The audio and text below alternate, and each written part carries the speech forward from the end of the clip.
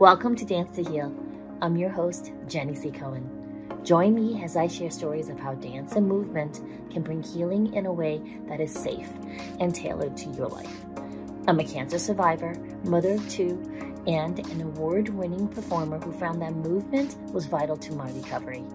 I created Dance to Heal Wellness and also authored the best selling book, Outside of Recovery Dancing My Way Back to Myself After Breast Cancer. I will bring new techniques to help you on your dance journey and healing path. Are you ready to move? Dance to Heal starts now. Are you walking around feeling like you're faking it with walls up protecting the real you? Anthony's been there.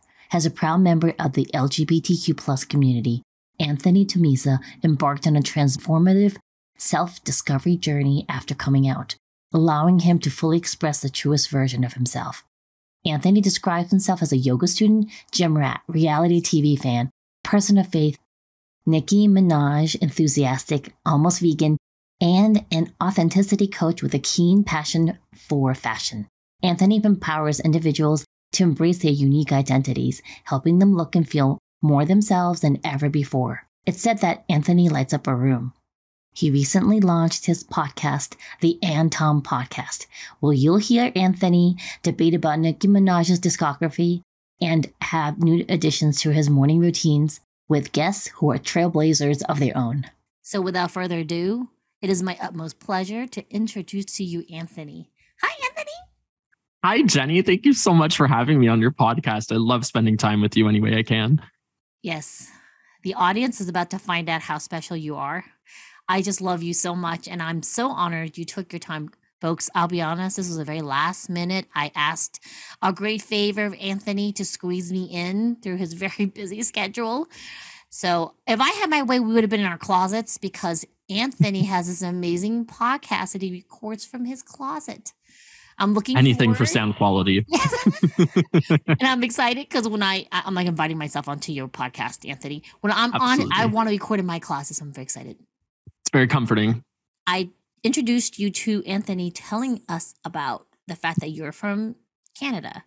And before we get started on, on the juicy tea questions, I have a juicy tea question. So, folks, you know. Anthony's from Canada, right? And where I'm based out here in the US.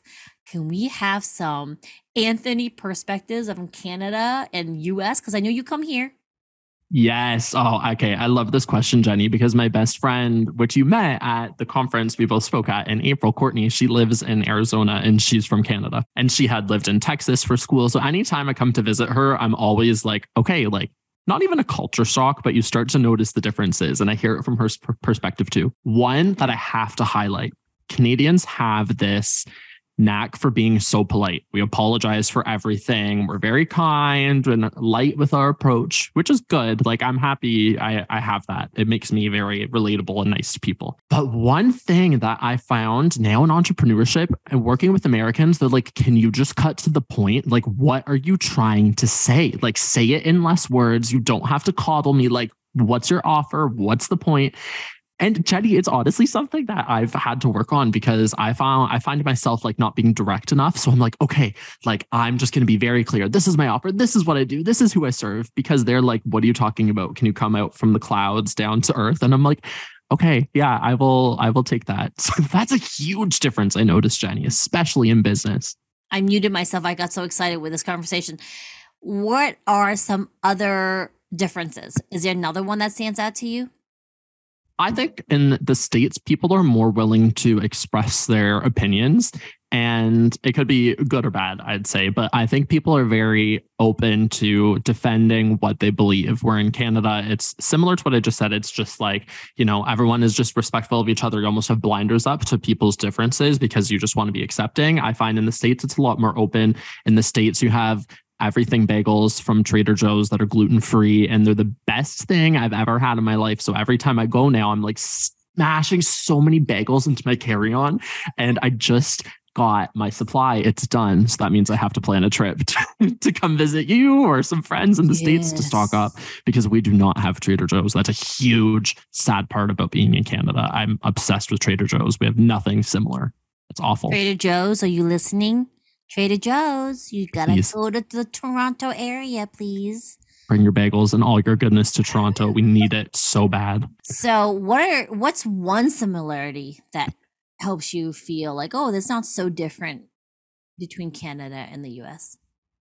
I would say I would say, especially the places that I visited in the States have um, a really good amount of diversity. Like, I feel like when I'm in Toronto, I feel like there's a great diverse crowd. And I feel like the places I've been to in the States, maybe not as much Texas, but I feel like the places I've been to in the States have been really um, diverse, like big cities and stuff. And people are really appreciative of different cultures and all that. So I've loved that about the places that I've visited.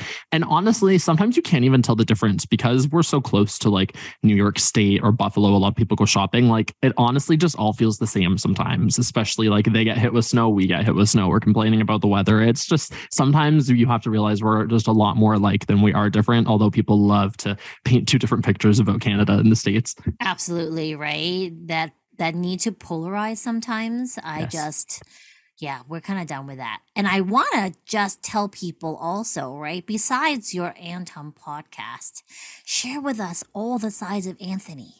Oh, I would love to, Jenny. So it's the way I, I want to start with how we met because this is a big part of my life lately. So I let me start with the fact that in 2019 I came out of the closet. I came out as gay to my family and I was about 23 years old at the time and so there was a lot of unpacking that I had to do to be able to become like my truest form of me, my most authentic form of me after so many years of suppressing it. And that led me to being um, referred to a coach. And at the time, I didn't know what a coach was. I didn't know what the session was going to be about. I was just like, I will take anything at this point just to feel better. My parents were very supportive in saying, let's get you some support. So I went for the session and it was just fantastic with Ernie Pavan, who is someone that we both have trained with and just love and adore so much. Could always shout his praises for hours. And I had an incredible session with Ernie. And that got me first exposed to the world of what we know as NLP coaching. At the time, I didn't even know it was called that. Fast forward to about three four years later, I was feeling a little bit unfulfilled in my career. I was like, I need a bit more guidance. And I was like, oh, let me go have one of those magical sessions with Ernie again. it was like naturally. So I go, Jenny, I go and I have an incredible session. And I said to Ernie, I said, like, what is this stuff? Like, how can this help me in my life? Not even with hoping to make a difference in others, truthfully. I was just being selfish. I was like, how can I enhance my life with these two? Isn't that all of our origin story? Really? Come on. and we have to be selfish. You know, you have to do the work for yourself. So, absolutely anyway, I ended up enrolling in the course. Me and you met, which was so fantastic over a year ago. And then I was like, okay, I'm ready to commit to helping others. And I had this light bulb moment with one of our other coaches, Laura, one day who put me on the spot. She's like, why are you here? Like, what are you going to do with this stuff? Like, what's your purpose? And I paused and I was like, uh, like, yeah, I'm supposed to help other people who have been in the similar shoes to me, who need comfort and stepping into their identity. And that was a tough concept for me at the time, Jenny, because sure, I was out to people in my life, like family and friends, but publicly, social media wise, I wasn't talking about this stuff because there was shame, there was the guilt. And anyway, I worked past that with the tools. I had incredible supports of people in our program. And so that's one side of me, Jenny, is I help people who are in the LGBTQ plus community to feel more at home in who they are and their identity. But then I also have this love for fashion and I always have. And I love helping people reorganize their closets, their wardrobes, go shopping with them. So now I've kind of paired both of those interests and I help people from the inside. Let's heal what's going on within you and then let's celebrate it by expressing your truest, most authentic form of your identity on the outside. And that's how, that's the short story of how I got here today. You give me chills.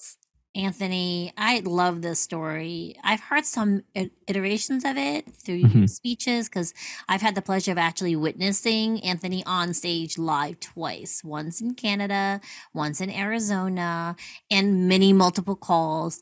Y'all, when Anthony logs on, my day lights up, and I hope the same for you.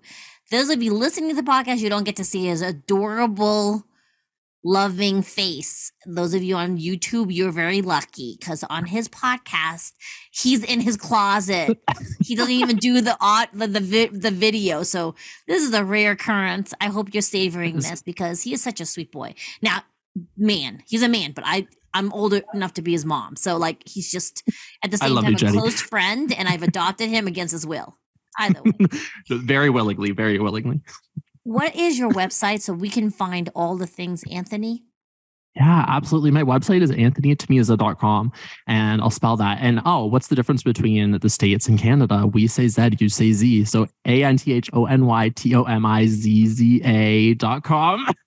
because I have a last name like that, I remember Jenny, I was one time in Texas or to coming back to Toronto, a flight got canceled. We had to run to the desk to rebook. She's like, okay, spell your last name. I'm like, T O M I Z Z A. And she gives me this dirty look. I was like, I'm so sorry, but my flight just got canceled. I have to go to work tomorrow. Like, I don't have time to say Z. Like, can you please just help me rebook my flight?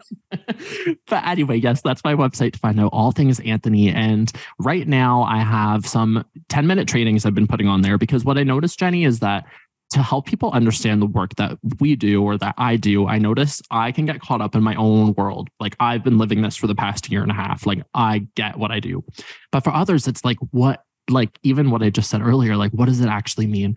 So I'm breaking it down into bite-sized chunks. So I think in the show notes that are going to be there, uh, you can click that link and just sign up and you'll see the videos there. And it just gives you bite-sized chunks on how to be your authentic self. Like what does that mean? How to be more you, how to be the real you, just bite-sized tips because sometimes I think in the coaching industry or the self-help industry, people like us can operate from a level up here talking about all the things we want for people but the people who are living it are like what can what do you mean? So my mission lately has been to just let me give people some bite-sized chunks. So i'd love to offer anyone listening to this just go check that out. Free 10 minute videos just to help feel more like you Oh, I love that. Thank you. And and here's the thing: those of you who are on the audio, uh, Anthony was doing this very very sweet, like upper level hand above the head, like we're up here versus here, and he did his palm up down here. But you know, most of us start down here, and it's really true because in my work, I discovered a lot of clients or people just talking will say, "I don't have yes. trauma. I had a great childhood." I'm like, "Okay, were you ever a baby?" You were great. So at one point you were nonverbal, and the adults that you were gifted into, right? Because mm-hmm. you're a baby. As a ba- baby, you're automatically a gift to the people who are lucky enough to receive you. And some people would even object to the way I phrase that, right? Yeah. Once you're in those people, human people's hands, they have to figure out what do you need, all your basic needs. And mm-hmm. it's this guessing game for a lot of us because babies are nonverbal. During that time, your subconscious will come up with reasons why your needs weren't met. And it usually starts with yourself. Somehow we empower ourselves, even though it makes no sense, as the adult person. Well, why would you blame yourself if your adults that you're in don't understand you? Well, how else do we empower ourselves? Right. And I love that you're giving everyone these little bite size and they're free, folks. So I would get on that. little moments of just resetting. Yes. Would you mind sharing with this particular particular audience yeah. some dialogues without getting too much into your personal information but m- maybe some of your clients or people who are trying to mm. find their authentic selves some blocks they don't are they don't even realize the blocks of course of course and so the the people that i work with the most tend to say something along the lines of this whether they are in the lgbtq plus community or not there's many common threads so i want to start there because a lot of the times people will say or see the work that i do and think oh well that's good for him but like i, I don't identify that way let me tell you that we're all hiding behind things. So people are saying, I have the shame that I need to get over. I look in the mirror and I don't like what I see physically. And then when we do the work together, there's something that is a mental block deep down that has nothing to do with their physical self. It's something from childhood, it's something from middle school where they got bullied, or it's something just as simple as not being chosen at recess. Like the things that we consciously come up with as our problems as in i don't like the way i can i dress. I don't like the way i'm expressing myself at work. I want to make this career shift. I want to move across the country. But I, sure but I can't do it. I always hit blocks of the same patterns. Well, then let's go to the more grassroots of when did this even start to happen for you? Why have you been experiencing this for so much longer in your life than you might even consciously realize? And doing the work helps people to take a step back to look at their life as this beautiful painting of ups and downs but we can realize like where did this first get installed and to realize that it's not your fault. So the things that people come to me about and are saying are really just I don't feel like myself. I don't feel like myself at work in my relationship in my clothes. They just are lost. And that's just a past iteration of me. I mean, and I'm still trying to find myself every day. So I relate to it. I get it because life is full of opportunities for us to fit into society's mold. And every time we do it, we wedge ourselves a little bit further away from our true identity. So that's my mission. And those are some of the things that people come to me and, and just share their heart and spill their heart. And those are the messages. I love that. So will you share with us how life is different now for you now that you've embarked on this journey? Because uh, let's be clear right? It's not an overnight like i'm free. It's it's this decision no. to step in this direction towards a journey of authentically being yourself and kind of how would you describe that? Because everyone has a different wow. way of explaining it Wow, Jenny, that's that. As you asked that question, I almost like my body like slipped back into like a past version of myself where I got really like nervous. And I mm-hmm. think it's just, it shows to me how far I've come because as I said a, a little earlier, like when I first came out, it was my intent to tell my parents, my brother, my closest friends. That's it. And I actually stuck with that for a decent amount of time until I told some people at work or, you know, as I started to date more. But I was comfortable living in that bubble. I was like, you know, I had and still have like some grandparents who are a little more elderly. And I just didn't feel like I wanted to put that burden on anyone else. I was like, they deserve to be in their later years and not have stress and not worry. I come from an Italian, um, mostly Italian family, raised Catholic. And so you always are like, okay, if everyone believes everything that Catholics believe, then this is not going to go over well because it's just the truth. And I get that. I respect their version of religion. And I, I'm someone that still has held on to faith to for and look, it looks a little different for me, but I've still held on to my faith. But I had so much respect for everyone else around me. What I started to realize when I did this work, Jenny, and I started to recognize my own potential in that I was limiting myself by hiding every time I didn't acknowledge who I was in any room, I was doing myself a disservice, not those other people. Like I was not allowing myself to shine in the ways that I needed to and that I had to. So it was even really just earlier this year that I decided if I'm going to take this work seriously, like I have to walk the talk. And if I'm helping people, I want to be just as open in my life as I can. So the biggest changes I noticed are that these conversations don't stress me out anymore. I used to really, even as not so long ago as like six months ago, having conversations with some family, which all went well, by the way. Like I'm very blessed to have an incredible family and extended family who supports me and loves me no matter what. So I want to be very clear about that. But these types of things stressed me out to no end, not even just a few years ago. The perceptions of what other people would think of me. And it's in one of the videos that I have up the free training that it's this quote that I'm not who I think I am. I'm not who you think I am. I am what I think you think I am. And I was living that, Jenny. And now I just, of course, it hits me sometimes, but I'm like, okay, five, four, three, two, one, let go of it and post and call this person and live. Oh. That was therapy for me, Jenny. Thank you for asking that question. well, we help each other, y'all, because the way yes. you just ended that, you were like, do this, do this, do this, live. And that's really mm-hmm. is, right? Because life is about action. There are moments of peace, of course. However, people who are meditating are actually actively moving energy. They're not still. Wow. Right? Movement yeah. is life. Yes. Every even if it's internal into the external. Because the thing is, right? just you being here mm-hmm. is going to help someone who is meant to hear you today. Mm-hmm. Because oftentimes there are many of us who are really, really quiet, not because we don't want to be seen, because we don't feel safe to be seen. Mm. And that leads a lot of times to us being inactive because, you know, action, life, wanting to live is to draw attention to us. And if we don't feel safe, we're not going to do that. And this podcast interview today is urging people to find communities similar to Anthony's and mine and other places where you will be safe so you can mm. live. And that's really what's important. So I want to end on one tidbit to give us. Yeah. Since I've met you, I used to dress in shades of black. But look at my aqua. I'm wearing this aqua top. I love it. so bright. when we first met, right? And Yes.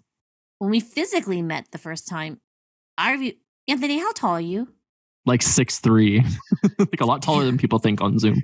But in Zoom, I feel like we're all the same height. And I remember I was wearing this really pretty flowery hmm. jacket with these matching, like a yellow thing and those flowers and stuff.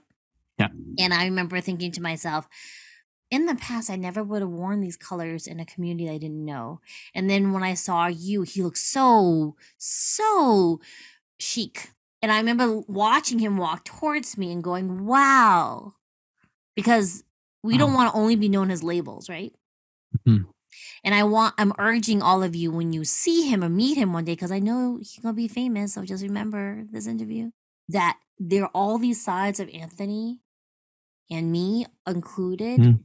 And how we present the world is just this little peek in who we are, right? But oftentimes we hide behind not just the mask of our face and our thoughts and our mind, but actually in our clothing. Because black Yes. allows you to blend in and be safe.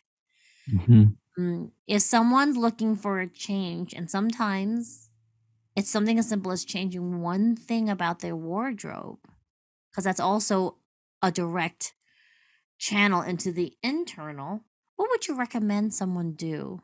I know it's broad, but like, what would you suggest besides declutter?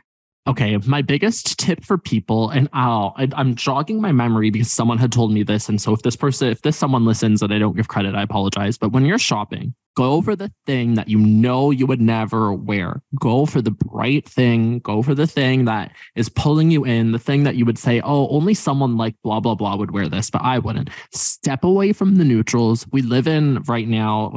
people call it like the sad beige trend because everything has become so monochromatic and neutral. And I love it. Like, truthfully, I love it. But like you said, Jenny, that day you came in boldly, you, and everyone was like, This is Jenny. Like, you arrived. You arrived.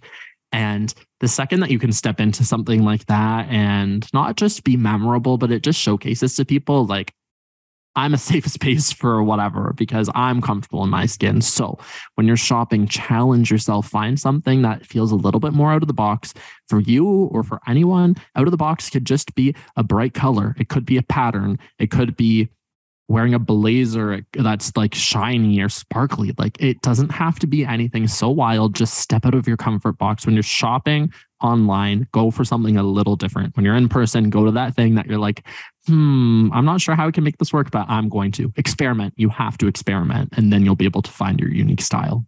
Oh, thank you so much. And then for someone, any of you who are, well, what do I do with all my old clothes that I can't let go of? Right? Mm. Book a call with Anthony. And he will help you work it through because sometimes, right, Mhm. some of the older things are still meant to be for us. And about 90% what's in our closets need to go. Absolutely. Absolutely, Jenny. Take that step. It's time to reclaim your clothes, your wardrobe. It's such a representation of your mental and physical spaces is manifested in your closet. So let's clean it up together. yes, yes. Anthony, thank you so much for coming. I look forward to having you back here. And audience, thank you for listening in. We'll see you next time. Bye. Bye, everyone. Thanks, Jenny.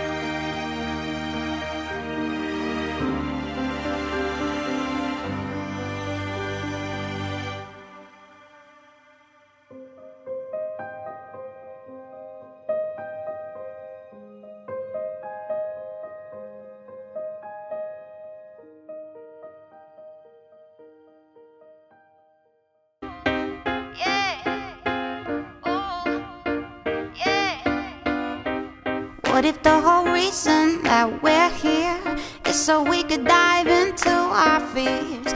What if all the demons in our lives only wanna open up our minds?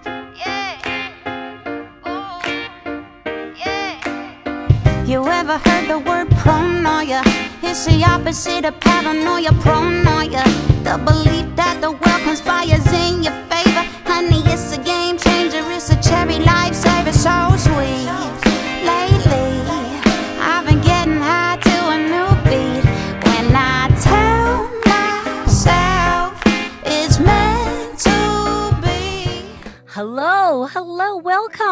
Who here likes to have fun? Raise your hand and say yes. Oh, yeah, I see you waving two hands with me, Tiffany. Who here likes to play? Raise your hand and say yes. Oh, yes. Who here has a favorite song they love to dance to? Raise both hands and say yes. Yes. I have loved dance all my life. It was a way for me to feel less alone. I immigrated to the States when I was six, and I got thrown into classes with no English knowing at all. And I still remember how much dance helped me feel less alone. I love dance so much I started competing in it. Back in 2014, I competed. And I went, I want to be seen, I want feedback, and I won. To my surprise. Then I went to Germany, came back, I was gonna launch my career and be a professional belly dancer. Then I found a lump. And that lump started me on an 18 month breast cancer recovery, surgery, everything. And at the end of it, I thought, wow, I'm ready now. I should be grateful. I should thrive. I have the second chance at life, and I got super busy and I missed all the signs of my children needing. Because I had homeschooled my miracle babies. And they were about 12, 13, and ready to embark on growing up. And I thought, you know, I can do that and do my belly dance career. Until one day my child said, Mom, I gotta talk to you. And I'm like, sure, what is it? And they're like, well, I don't wanna be on this earth anymore. And they showed me scars on their body. And I was like, okay, clinical mode. I can take care of this. I was an occupational therapist. We'll get you set up with therapy, lock up the knives, and then I went back to my old schedule. Crazy, crazy running around. I still missed the signs of how much they needed me. Two weeks later, there was a severe relapse. And I sobbed as I was putting steri strips on their arm. And I saw eyes of a stranger staring at me.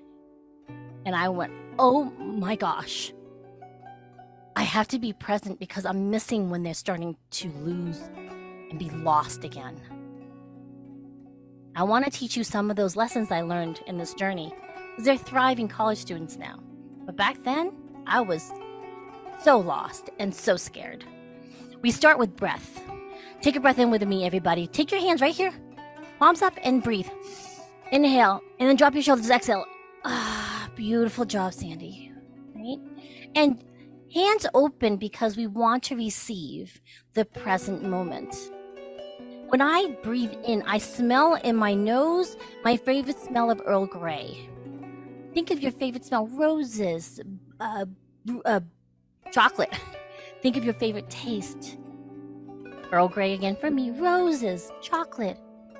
I put nice music in the background so you can tune into the sound of of the music permeating the space smell taste sound feel your feet on the floor your butt cheeks on your seat the last thing in your area is your vision. You're going to soften your gaze. I'm right in, front, right in front of you, but soften your gaze and start seeing the people next to you through your peripheral vision. See the person sitting behind you. Hold on to those five senses. Take a breath. Inhale. Exhale. This tunes into our nervous system to be present. We're in a global phenomenon of reawakening and understanding how being present is super important. I love to marry that to you, you hear my dance music. I see some of you moving. So you're gonna sway to your right, right, and left, and right. I'm wearing white and black pants, so you know white, black is right and left. Beautiful and sway and sway. So I love to marry those five senses tune in with your breath work with movement. Yes, you didn't know you were coming to a dance class, did you? The arms are gonna float up. Take your palms down, up. Yes, and just sway. Now, put this on automatic pilot, tune into my voice and your other senses, and I'm gonna share with you some of these lessons of movement with breath work helps me be present. This whole conference is going to be a plethora, plethora of information and knowledge and people meeting. And how are you going to decide what applies to your life? You're going to tune into your body. You're going to move. Take your breath. Beautiful, guys. Come center. Arms are going to cross in front and open up. Yeah, receive. Here we go. So for this breath, the shoulders are going to drop up, lift up, and down for me, in terms of dance, it also can become a distraction, though, right? Because I was running all over the place and I forgot to tune in during this time. And it was only after my children needed me that I realized I had to do this. I was so lost, I couldn't even see myself in the mirror, you guys. When I was preparing for my dance performances, I would see the outline of my hair, my huge, gigantic lashes, my beautiful costume, and I wouldn't even see my face. Doing this keeps me present. Beautiful. Now, hands down and sway. I see Holly's like, I don't want to do the shoulders. I want to sway. So everyone's going to sway and sway. Beautiful. Doing these five, tune into your senses with your breath work, with the movement every day. I want you to make an agreement. Come talk to me afterwards. You'll see my banner right over there. That it is important for you to set when am I going to do this movement every day and journal afterwards to see what messages your body wants to tell you? Okay, make that date. Come and tell me later. I want to teach you some choreography here. So your right arm's gonna go right and then left. These are sometimes called like snake arms. I call them like wavy arms. And you're just gonna slay. that. Like here's the thing, I'm gonna turn sideways. If you have a friend here, you're gonna whack them in the head, yeah? So you're gonna be slightly in front and wave, wave, yes. Arms gonna come up. Arms gonna come up. And then we're gonna do a little intertwining arms. Beautiful. And open. And close. And twine. Yes. This is how all of our parts in our lives intertwine, right? Yes, yes. And I want you to think of all the different roles that you play, how you're the center of it, and you're the only connecting thing of all your different roles. That part has to be very present. Okay? Good. From the top and waving to your right and sway. Sway. Beautiful, guys. Sway. Sway. Arms come up. Woo! And intertwining arms. This is just a reminder to yourself how much you're interconnecting with everything in your body. Yes, and add some body work. I, see, I really see Holly kind of going to town with her body. Feel comfortable with your body going side to side. Beautiful. Yes. One other lesson I want you to think about is as you are taking your day by day, there has to be gratitude wrapped into how grateful we are to be in this present time. Otherwise, we kind of get lost in past or future planning, correct? Sway and right, left, right, left. And in doing this with the movement, it actually compels you to be very, very centered. Yes. Arms come up now, palms are gonna flip down, flip, and you got your wings. The song of this entire conference is Find Your Wings. And that is what we're doing. Yes, exactly. Someone's like doing this. All right, we can do this. Let's go. Now the song is gonna tune up. Here we go. I ask you right now, take a breath with me. Inhale. Exhale. Tune into the five senses smell, taste, hearing, touch, vision. We'll do one slow mo of this and slow. Moving through liquid. One more time. Yes. And sway. Arms come up. And they're to intertwine. I'm coming dipping down so you can see me in the Zoom room, even though this class will be live. Yes. Now, arms going to come up. And then you're going to find your wings by tuning down. Beautiful. That's the whole choreography. The music is going to play from the theme. Tomorrow, my son and I are going to perform, and you're going to dance this chorus with us. Okay? Here's the song. And on and open. Yes, intertwining arms because you're the interconnecting part in all of your roles. Yes, and open.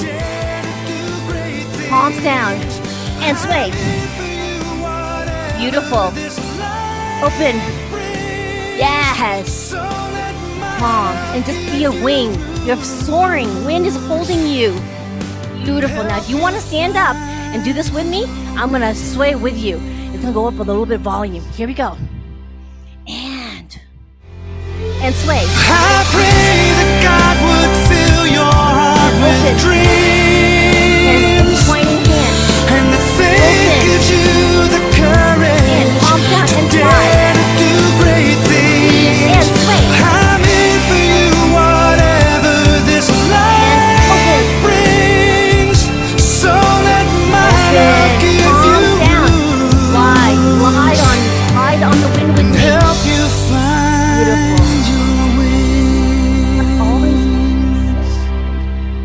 Flying. Beautiful. So here's the thing. I've only I've run out of time and I've only covered three of the steps. How to have fun and move, do your five senses, and also uh five senses and breathe. Yes. I invite you to come talk to me. If you want to dance more with me, go to my website, download the book, and it's free. Have fun with it. Book a call with me. I would love to dance with you again. And remember, if your cup is already full, nothing else can come in it. So empty your cup and fill it this weekend. Thank you so much. Dance with You ever heard the word pronoia? It's the opposite of paranoia. Pronoia, the belief that the world conspires in your favor. Thanks for listening to Dance to Heal with Jenny C. Cohen. Come back next time to hear stories of recovery through movement and learn more ways that you can move your body. To work with me and continue your journey, visit OutsideInRecovery.com. Are you ready to move?